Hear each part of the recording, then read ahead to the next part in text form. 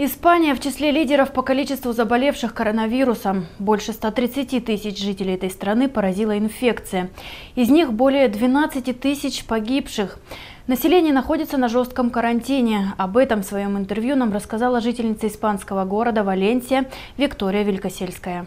Виктория родилась и выросла в Искитиме. В Испанию на постоянное место жительства переехала больше года назад. Про коронавирус ее семья узнала из новостей. Тогда инфекция была распространена только в Китае. Мы не обращали на это все внимание, так как это где-то было далеко, где Китай, где мы, то есть до нас это не дойдет, мол, это же не у нас, что нам переживать. Потом это все началось дальше больше Италия, Франция, то есть э, мы как бы были спокойны, люди у нас на это все внимание не обращали, потому что, ну, это же не в Испании происходит, а где-то там, в других странах. И когда все это пришло к нам, пришло сначала там в далекие от нас города, то есть мы, мы даже панику не наводили. Потом постепенно люди начали нас предупреждать, именно правительство о том, что берегите себя, одевайте маски, перчатки, то есть э, старайтесь в людные места в общественные не ходить. Все поменялось в одно утро, говорит Виктория. С 14 марта у них объявили карантин. Передвигаться по улице разрешили только в случае острой необходимости.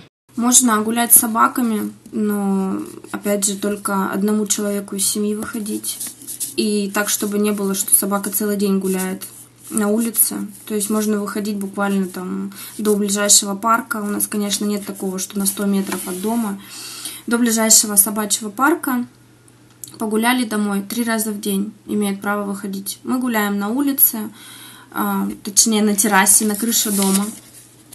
Мы гуляем только так. Мои дети уже почти месяц не видели улицы, не видели парка. То есть из дома нам можно выходить только по необходимости. Это в магазин, в аптеку и все на этом. И то в магазин можно выходить только в ближайшие. Опять же, в магазин заходить можно по одному только человеку. Остальные все стоят в очереди на улице а, на расстоянии полтора-два метра друг от друга, все в перчатках, все в маске, запускают по одному человеку, а, он закупается, рассчитывается, на кассе ему выдают а, дезинфектанты, обработают руки, то есть при входе дают перчатки, хоть даже на человеке есть перчатки свои, но дают другие в магазине